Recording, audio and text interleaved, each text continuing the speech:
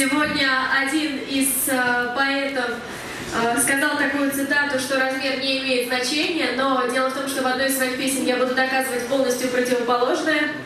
Итак, первая песня, та песня, с которой я, в общем-то, начинала, это песня «Парень на одну ночь», и, собственно, я ее сейчас включу, наверное.